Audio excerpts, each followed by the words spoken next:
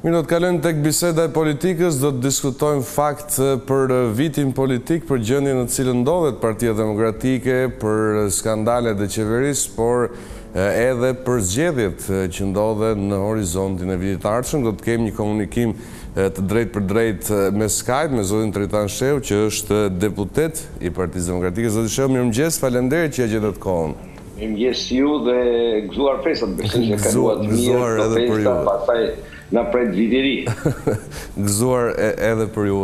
Zoti Shehu, ka qenë një vit i vështirë, do të thoja unë, për Partinë Demokratike, e kujtojmë që me zhvillimet e datës tetë janar të këtij viti, ku pamë skena edhe të pakëndshme në Partinë Demokratike dhe ju keni një eksperiencë të gjatë brenda partisë, keni qenë aty në momente të vështira, por dhe në momente të mira.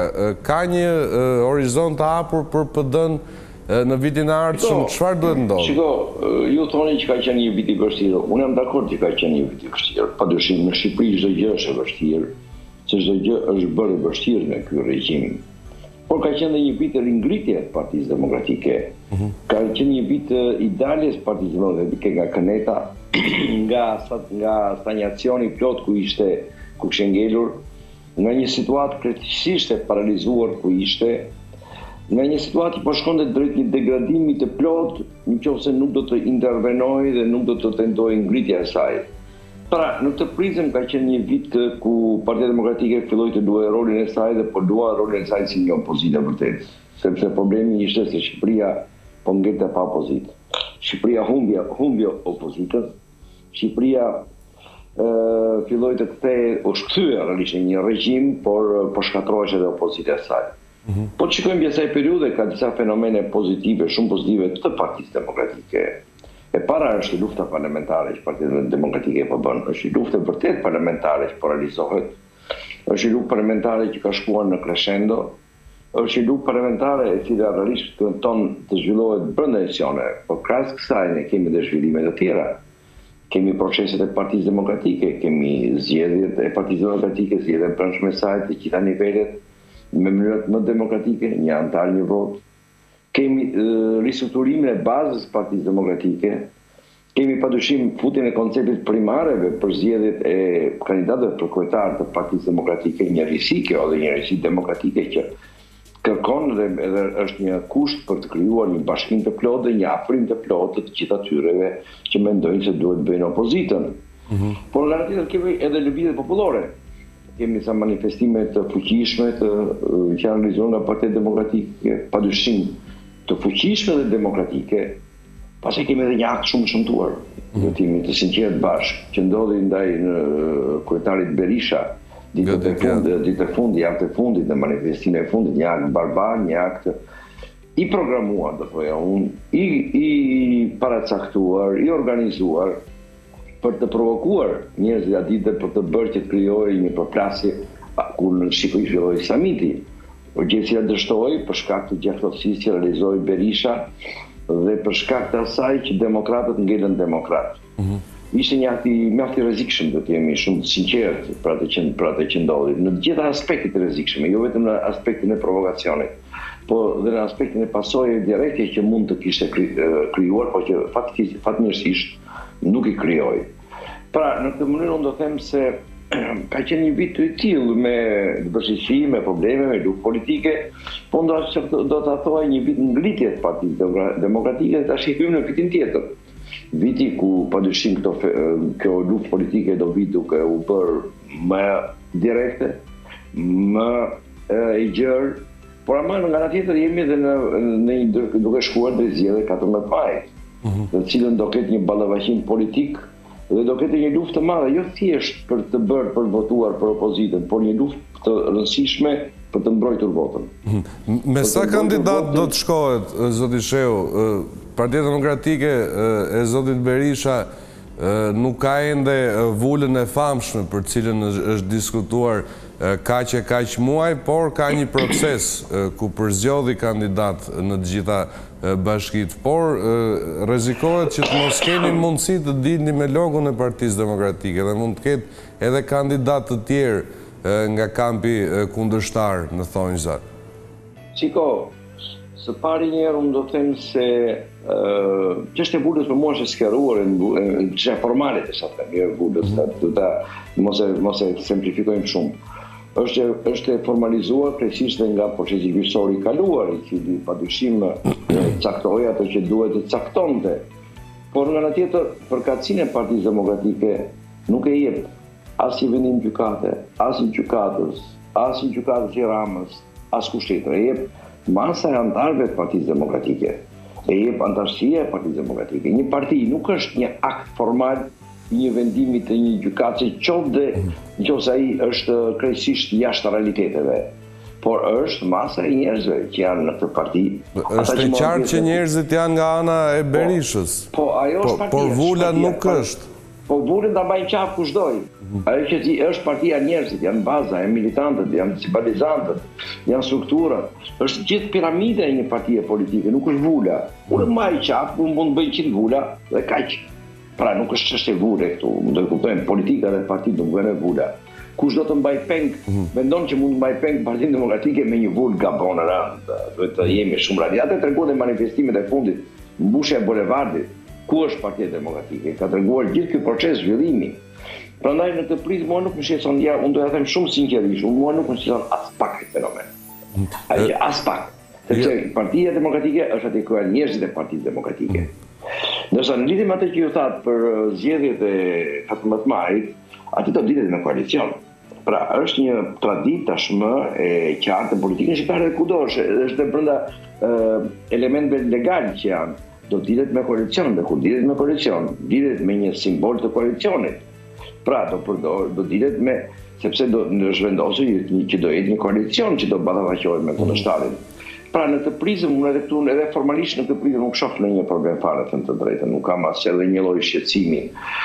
Pastaj rezultati do ta tregojë dhe do shikoni përsëri, të gjithë do shikojnë përsëri, se ku është Partia Demokratike, dhe si ku mund të përfundojë çdo tentativë, cila, cila mund synojë për të zhbërë dhe, dhe për të krijuar një opozitë të komanduar dhe të pilotuar nga Rama. Mm. Sa për atë që thatë mund të dalin dhe kandidatë të tjerë, ok, është e drejtë e gjithësekujt të dalë. Gjithmonë kanë dalë kandidatë të pavarur, kanë dalë kandidatë të ndryshëm. Dhe ju kanë dëmtuar zoti Shehu, kujtojmë Myslim Murrizin, kujtojmë Astrit Patozin, Jozefina Topallin, mund të ishin vota të vlefshme. Shiko, shiko, edhe dëmtojnë, unë nuk them që nuk dëmtojnë, por kjo është demokracia, nuk ke ç'i bën.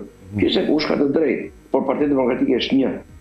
Partia Demokratike është kjo që është, është ajo që mbush sheshet, është ajo që ka është në bazë e shtrirë, është ajo që është kudo, është ajo që po bën opozitën. Kjo është Partia Demokratike, pastaj mund të dalin individë të ndryshëm për arsye nga më të ndryshmet, qoftë si paterica të Ramës, kjo është diçka tjetër, pastaj pastaj nuk ke ç'i bën, kjo është historia, kjo është politika.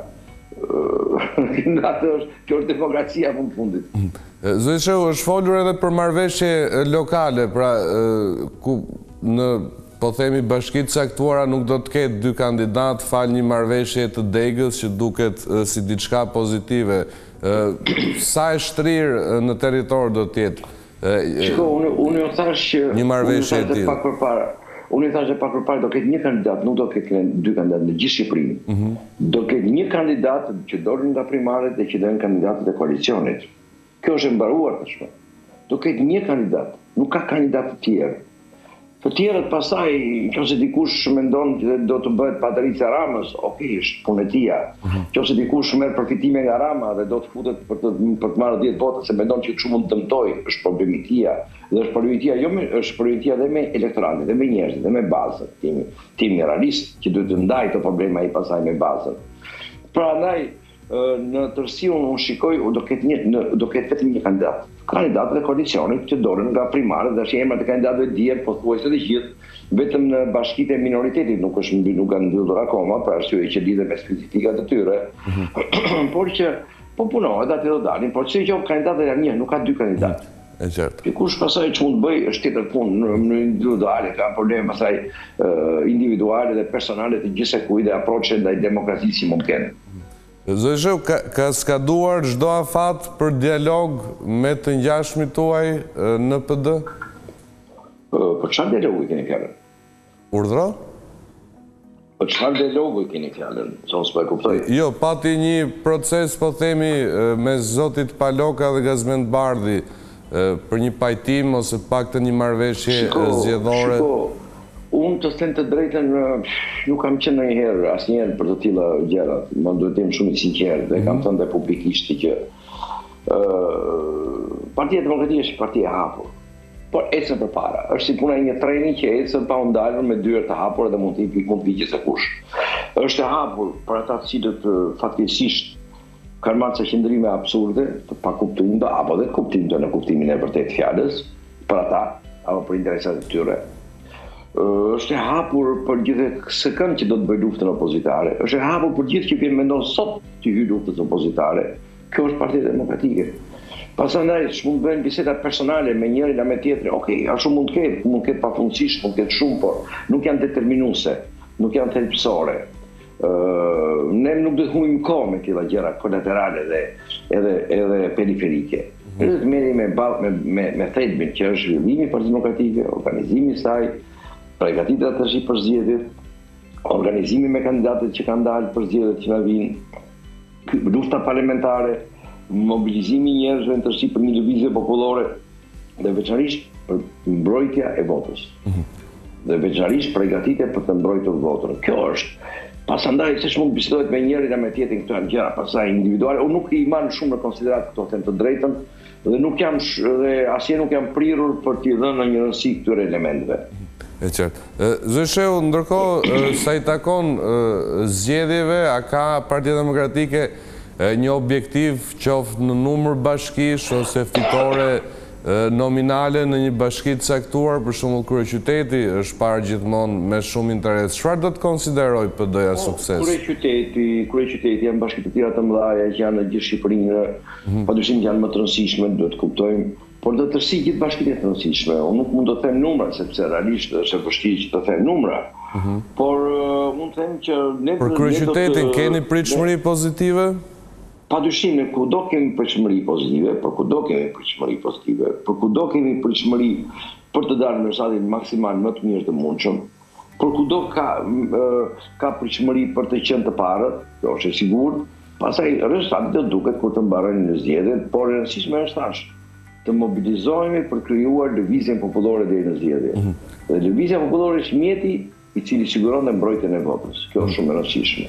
E qartë. Zoti Shehu, ndërkohë nuk kanë munguar problemet nga ana e qeverisë dhe do duhet të ishte një periudhë ku opozita të fitonte ndjeshëm terren, por në aparencë, në plan të parë, kryeministri Rama duket i qetë dhe i pashqetësuar, të paktën në deklaratat e tij. Mund të protestojnë sa të duan, është shprehur në konferenca për shtyp i pyetur nga gazetarët.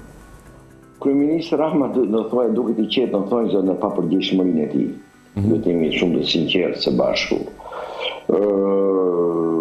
Kryeministri Rama është duket është i sinqertë sepse ai nuk nuk do t'ia di fare për problemet e mëdha të Shqipërisë, për varfërinë, për papunësinë, për shkeljet e demokracisë, për shkeljet e drejtave të njeriut, për problemet e shëndetësisë, të arsimit, ai nuk do t'ia di për këto gjëra fare. Për të ka rëndësi vetëm karrika e tij Kolltuku i tij, ai nuk do t'ia di bile as për atë që Shqipëria po boshatiset. Mhm. Sepse ai mendon, mjafton të sundojmë 800.000 njerëz, duke pas një lloj mentaliteti e konceptin e Esat Pashës të dikurshëm, dhe kaq. Falenderojmë zotin Shehu për bisedën, është një bisedë e lënë për gjysmë në thonjëza, por do ta vijojmë me çështje të tjera. Mirë, unë ju falenderoj edhe juve për vëmendjen, bashkë do të ritakohemi nesër si gjithnjë në shtatë pa pesë.